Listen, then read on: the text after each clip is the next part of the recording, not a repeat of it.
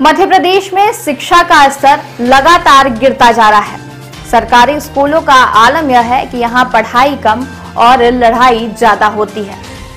ताज़ा मामला सामने आया है मध्य प्रदेश के सीधी ज़िले से जहाँ शासकीय स्कूल में अध्ययनरत दो छात्रों से टॉयलेट की सफ़ाई का वीडियो सामने आने के बाद शिक्षा विभाग में हड़कंप मचा हुआ है।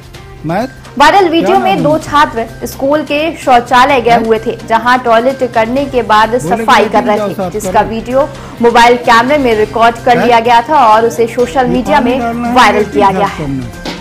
इस विद्यालय में बालिका शौचालय का हाल बुरा है। वहीं बालक शौचालय? में भी कूड़े कचरे का अंबार है। स्कूल में मौजूद शिक्षकों का मानना है? कि बच्चों से सफ़ाई नहीं कराई गई थी बल्कि बच्चे टॉयलेट गए हुए थे जो स्वयं पानी डाल रहे थे। मास्टर बोला। वहीं मामले में जिला शिक्षा अधिकारी का दावा है कि अगर शिक्षकों ने टॉयलेट की सफ़ाई कराई है तो उनके खिलाफ कार्रवाई की जाएगी। हालाँकि पूरे मामले में जाँच कमेटी गठित कर दी गई है। सीधी जिला मुख्यालय से महज 35 किलोमीटर दूर स्थित तिलवारी प्राथमिक स्कूल में अध्ययन दो छात्रों के टॉयलेट साफ़ करने का वीडियो सामने आया था, जिसके बाद से शिक्षा विभाग में हड़कप मचा हुआ है।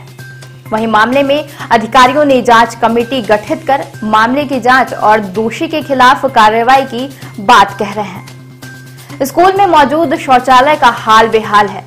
इस विद्यालय में डेढ़ सौ से अधिक छात्र छात्राएँ अध्ययनरत हैं।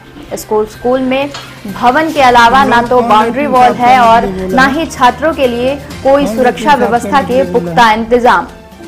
अब देखना यह है कि छात्रों द्वारा शौचालय साफ़ करने का वीडियो सामने आने के बाद जाँच कमेटी द्वारा क्या कार्रवाई की जाती है? ताला तिलवारी में बच्चों से जिस तरह से देखा जा रहा है वीडियो में टॉयलेट साफ़ कराया जा रहा है। सर क्या पूरा मामला है? ये मेरे संज्ञान में बात कल शाम को आई है और आज मैंने बीआरसीसी को वहाँ भेजा था। उसका प्रतिवेदन प्राप्त करने के लिए कहा है और संबंधित शिक्षक जिसने छात्रों को इस तरह के कार्य करने के लिए उत्प्रेरित किया है, उसके विरुद्ध हम शासनात्मक कार्यवाही हम तत्काल करने के लिए निश्चित निश्चित।